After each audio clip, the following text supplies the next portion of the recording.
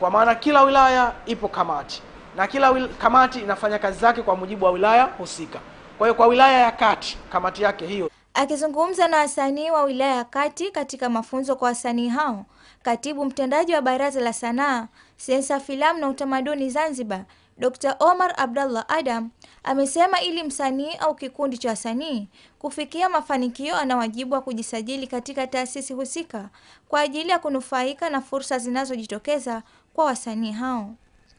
Amesema miongoni mwa fursa ambazo msanii anaweza kuzipata baada ya kujisajili ni kushiriki katika matamasha mbalimbali ya ndani na nje, kukuza kipato cha wasanii na kuweza kupatiwa elimu kwa mujibu wa mabadiliko ya teknolojia duniani.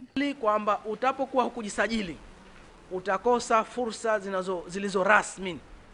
Fursa rasmi ni zipi? Fursa rasmi ni pamoja na yale mambo ambayo niliyasema kwamba watu wanashiriki katika matamasha, wanashiriki katika shughuli mbalimbali. Mtu ambaye hakujisajili, hiyo fursa ataikosa, lakini utakosa kinga ya taasisi yako, na ukitokea mgogoro, tunarudia kwenye katiba yenu, tunarudia kwenye hati ya usajili wenu, lakini unaweza ukajipa jina leo ambalo halikusajiliwa likishakuwa zuri, mwingine akalichukua lile jina akafanya lake na yeye akasajili haraka haraka. Kwa mfano, leo hapa limetolewa jina lile, lakini halijasajiliwa. Akitokea mjanja akenda mbio kusajili, ina maana lile jina la aliyejisajili.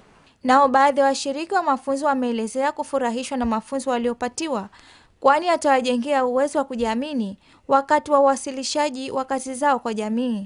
Wito wangu kwa wasanii, naambia kwamba wakubali mabadiliko na ushauri kwa wale watu ambao wanawaelekeza, ili kuwafanya ile kazi yao iwe nzuri na yenye faida kwao. ya wilaya ya Kati wasanii tulikuwa tumetupwa kwa kiasi, na hatukutupwa bali tulikuwa sisi wenyewe tuko nyuma katika ndani ya baraza la sanaa, kwa sababu tulikuwa tumo katika ndani ya kuoga, ili msanii anaoga.